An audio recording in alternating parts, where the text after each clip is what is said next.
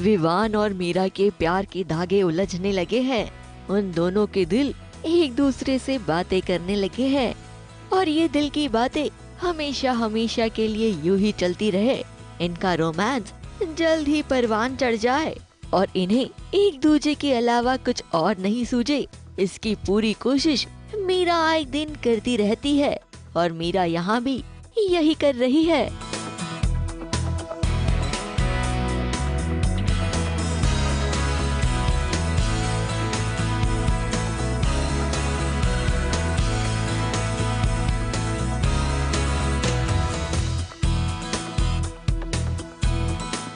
मीरा के romantic mood से विवान निकले तो विवान पहुँच गए एक ड्रीम सीक्वेंस में, जहाँ वो मीरा को उसका बर्थडे सरप्राइज़ दे रहे थे। लेकिन इस ड्रीम सीक्वेंस में मीरा को देखकर लगता है कि विवान मीरा को नहीं, बल्कि मीरा विवान को बर्थडे सरप्राइज़ दे रही है।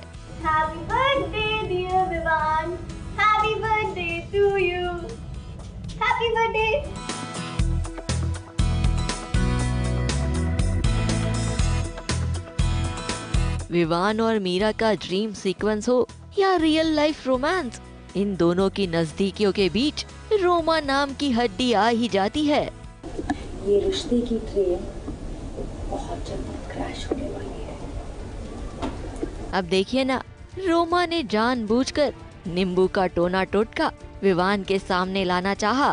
रोमा सिर्फ़ ये इसलिए कर रही है ताकि ये वो बोल पाए कि मीरा ये सब कर रही है और मीरा को फंसाने के लिए कर रही है। और मीरा और उसके परिवार के खिलाफ भड़काने के लिए रोमा एक नया मोहरा भी ले आई, जो विवान को मीरा और उसके परिवार के लिए भड़का रही है। विवान को ये बता रही है कि मीरा और उसके परिवार ने विवान की प्रॉपर्टी ठगने के लिए ये सारा शादी का नाटक रचा है। है?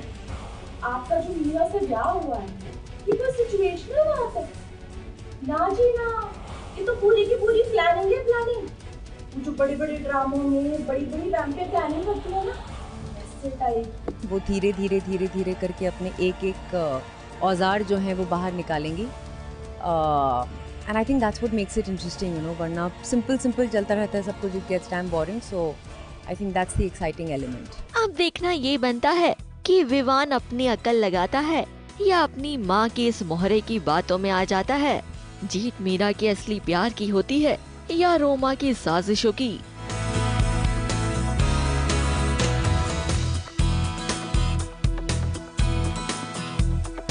मुंबई से राज दीक्षित के साथ एबीपी न्यूज़ रिपोर्ट